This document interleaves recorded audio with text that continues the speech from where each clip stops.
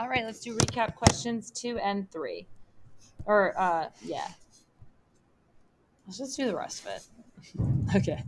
Uh, number two, pick the best method to solve algebraically. So it looks like here, uh, I need to get this into standard form and set it equal to zero. I have no idea what's going on. So let's go ahead and do that. All right, now I got 2x squared minus 8x minus 42 equals 0. Okay, so I'm going to pull out a GCF of 2 and see if this guy's factorable. Um,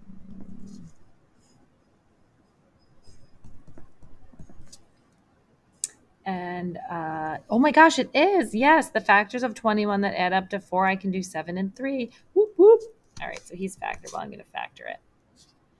Let's look at 4. Um, ooh, I have no x term. That means I'm going to use square roots.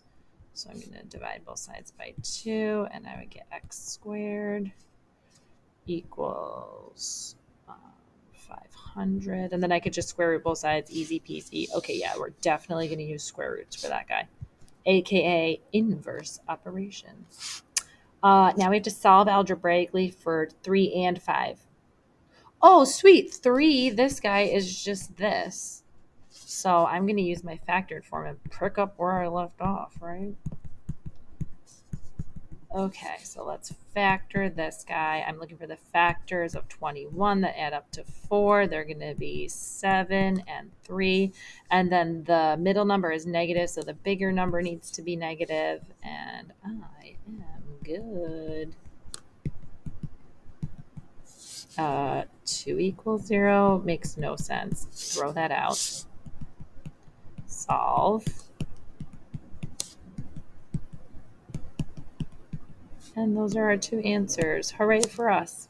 Okay, let's look at number five.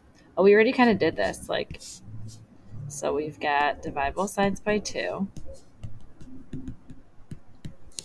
And then I'm going to square root both sides.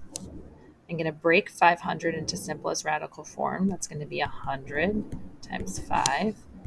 The square root of 100, when you take a square root, you put a plus or minus.